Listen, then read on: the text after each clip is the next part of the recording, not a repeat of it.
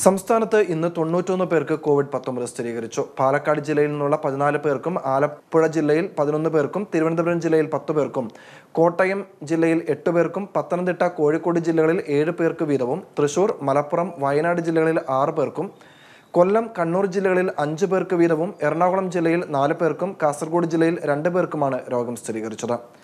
ഇതിൽ അൻപത്തി പേർ വിദേശ രാജ്യങ്ങളിൽ നിന്നും ഇരുപത്തിയേഴ് പേർ മറ്റു സംസ്ഥാനങ്ങളിൽ നിന്നും വന്നതാണ്.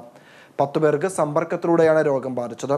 പാലക്കാട് ജില്ലയിലെ നാല് പേർക്കും തൃശൂർ ജില്ലയിലെ മൂന്ന് പേർക്കും മലപ്പുറം ജില്ലയിലെ രണ്ട് പേർക്കും കണ്ണൂർ ജില്ലയിലെ ഒരാൾക്കുമാണ് സമ്പർക്കത്തിലൂടെ രോഗം ബാധിച്ചത്. തിരുവനന്തപുരം ജില്ലയിലെ ഒരു ആരോഗ്യ പ്രവർത്തകയ്ക്കും രോഗം ബാധിച്ചു. ചികിത്സയിലായിരുന്ന മുപ്പത്തിനാല് പേരുടെ പരിശോധനാ ഫലം നെഗറ്റീവായി. തിരുവനന്തപുരം ജില്ലയിൽ നിന്നുള്ള പന്ത്രണ്ട് പേരുടെയും പത്തനംതിട്ട ജില്ലയിൽ നിന്നുള്ള ആറ് പേരുടെയും തൃശൂർ കോഴിക്കോട് ജില്ലകളിൽ നിന്ന് നാല് പേരുടെ വീതവും കൊല്ലം ആലപ്പുഴ കോട്ടയം ജില്ലകളിൽ നിന്ന് രണ്ട് പേരുടെ വീതവും ഇടുക്കി എറണാകുളം ജില്ലകളിൽ നിന്നുള്ള ഓരോരുത്തരുടെ വീതവും പരിശോധന ഫലമാണ് നെഗറ്റീവായത് ആയിരത്തി ഇരുന്നൂറ്റി മുപ്പത്തൊന്ന് പേരാണ് രോഗം സ്ഥിരീകരിച്ച് ചികിത്സയിലുള്ളത്. എണ്ണൂറ്റി നാൽപ്പത്തെട്ട് പേർ ഇതുവരെ കോവിഡ് മുക്തരായി.